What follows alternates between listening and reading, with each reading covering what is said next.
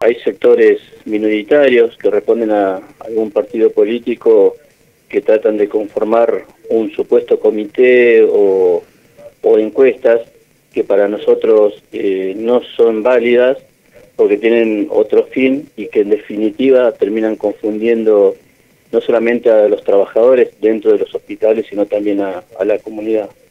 Eh, yo lo vengo diciendo desde, desde un principio, nosotros logramos eh, poder trabajar en conjunto con nuestros compañeros dentro del hospital, eh, compañeros médicos, enfermeros, administrativos, que conforman los sectores de infectología, los sectores de epidemia, los sectores de seguridad e higiene, y en eso vamos viendo día a día las situaciones que se van dando eh, con respecto al funcionamiento del hospital y puntualmente con nuestros propios compañeros.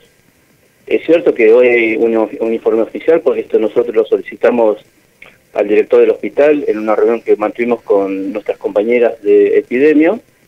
Y sí, eh, los números son reales. Eh, hasta la fecha hay 25 casos positivos y un compañero que dio un, número 26 que fue un falso positivo. Eh, sí, tengo que saludar y felicitar a todo el equipo de trabajo porque todo eso simulacro, toda esa capacitación, todo eso que fuimos estudiando día a día, eh, está demostrado porque hoy los contagios no han sido por contacto directo con el paciente. Cada vez que hubo un insumo de mala calidad, nosotros lo fuimos a denunciar. Cada vez que faltaba algo, fuimos, recorrimos los depósitos de cada uno de los servicios para ver qué faltaba, qué no faltaba, eh, los sábados, los domingos, los feriados, porque era la manera de, de mantener y resguardar a nuestros propios compañeros. Sí, también eh, hoy eh, tratan de, de, de haber de alguna manera de que el trabajador tenga un distanciamiento.